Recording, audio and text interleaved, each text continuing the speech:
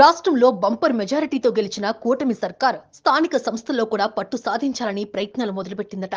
అందులో మాజీ సీఎం జగన్మోహన్ రెడ్డి సొంత జిల్లా కడప జడ్పీ పీఠంపై కూటమి కన్నేసిందని టాక్ వినపడుతోంది. జడ్పీ చైర్మన్ ఆకిపాటి అమర్నాథ్ రెడ్డి ఎమ్మెల్యేగా గెలవడంతో ఆయన ఆ పదవికి రాజీనామా చేశారు. అయితే కడప జడ్పీ పీఠాన్ని అధికార కూటమి లాగేసుకోకుండా వైసీపీ జాగ్రత్త పడుతోంది. ఉమ్మడి కడప జిల్లాలో యాభై జెడ్పీటీసీ స్థానాలుండగా ప్రస్తుతం వైసీపీకి నలభై రెండు మంది సభ్యుల బలం ఉంది అందులో పది నుంచి పన్నెండు మంది అసంతృప్తితో ఉన్నట్టు చర్చ నడుస్తోంది. ఇటీవల విజయవాడలో జెడ్పీటీసీలతో భేటీ అయ్యారు జగన్.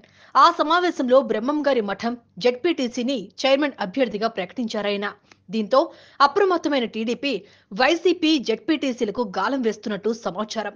ఎన్డీఏ కూటమిలోకి వస్తే డబ్బుతో పాటు మండల స్థాయిలో పనులు కూడా ఇస్తామని ఆఫర్ల మీద ఆఫర్ ఇస్తున్నారన్నది కడప సర్కిల్లో టాక్. జగన్ సొంత జిల్లా కావడంతో వైసీపీ కూడా ఈ వ్యవహారాన్ని ప్రతిష్టాత్మకంగా తీసుకుందట.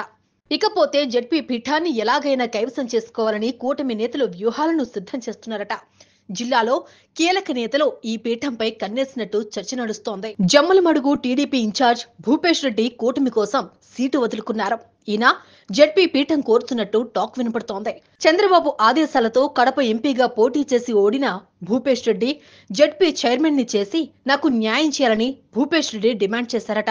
మరోవైపు కమలాపురం ఎమ్మెల్యే పుత్తా చైతన్యరెడ్డి తండ్రి పుత్తా నరసింహారెడ్డి జడ్పీ చైర్మన్ కావాలని పావులు కదుపుతున్నారన్న చర్చ సాగుతోంది. నాలుగు సార్లు ఓడిపోయినా ఐదోసారి ఎలాగైనా ఎమ్మెల్యేగా గెలవాలని ఉన్న ఆయన చివరి నిమిషంలో తన కొడుకుకు టికెట్ రావడంతో సైలెంట్ అయిపోయారు. కానీ ఇప్పుడు జడ్పీ చైర్మన్ కావాలని పట్టుబడుతున్నారట. అందుకోసం వైసీపీ జడ్పీటీసీలను తన వైపు తిప్పుకునేందుకు పక్కా ప్రణాళికలు సిద్ధం చేస్తున్నారట పుత్తా నరసింహారెడ్డి. ఇక పులివెందులలో జగన్కు పోటీగా నిలబడ్డ మాజీ ఎమ్మెల్సీ బీటెక్ రవి కూడా జడ్పీ పీఠంపై కన్నేసినట్టు చర్చ వినపడుతోంది. ఈ ముగ్గురు నేతలు అధిష్టానం వద్ద ఎవరికి వారు పావులు కదుపుతున్నట్టు టాక్ వినపడుతోంది. అయితే అసంతృప్తిగా ఉన్న వైసీపీ జడ్పీటీసీలకు కూటమి నేతలు వివిధ రూపాల్లో గాలం వేస్తున్నట్టు సమాచారం. ఒక్కొక్కరికి ఇరవై ఐదు లక్షల రూపాయల దాకా బంపర్ ఆఫర్ ఇచ్చినట్టు గుసగుసలు వినపడుతున్నాయి. ఇప్పటికే వైసీపీ నుంచి ఐదుగురు జడ్పీటీసీలు ఎన్డీఏ కూటమిలో చేరారు. ఉమ్మడి కడప జిల్లా పరిషత్ చైర్మన్గా ఉన్న ఆకేపాటి అమర్నాథ్ రెడ్డి రాజంపేట ఎమ్మెల్యేగా గెలవడంతో ఇక్కడ జడ్పీ చైర్మన్ స్థానం ఖాళీ అయింది. దీనితో పాటు ఒంటిమిట్ట జడ్పీటీసీ పదవికి ఆయన రాజీనామా చేశారు. పులివెందుల జడ్పీటీసీ చనిపోవడంతో రెండు జడ్పీటీసీ స్థానాలు ఖాళీగా ఉన్నాయి. ఇటీవల విజయవాడలో జడ్పీటీసీలతో భేటీ అయ్యారు జగన్. జడ్పీ పీఠాన్ని కాపాడుకోవాలని ఒక్క అడుగు ముందే వైసీపీ వేసింది. ఒక్కొక్కరికి ఇరవై ఐదు లక్షలు ఇస్తామని ఆఫర్ చేస్తుందట. ఇప్పటికే ఐదు లక్షల చొప్పున అడ్వాన్స్ ఇచ్చారన్న టాక్ ఉంది.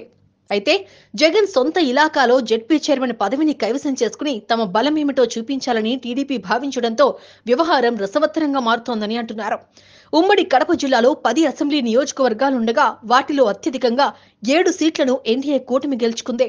వైసీపీకి జిల్లాలో ముగ్గురు ఎమ్మెల్యేలే మిగిలారు. అత్యధిక ఎమ్మెల్యే స్థానాలు దక్కించుకున్న ఎన్డీఏ జిల్లాలో అభివృద్ధి పనులు జరగాలంటే జిల్లా పరిషత్ను కైవసం చేసుకోవాల్సిన అవసరం ఉందన్న భావనతో ఆ దిశగా పావులు కదుపుతోందన్న చర్చ ఉంది.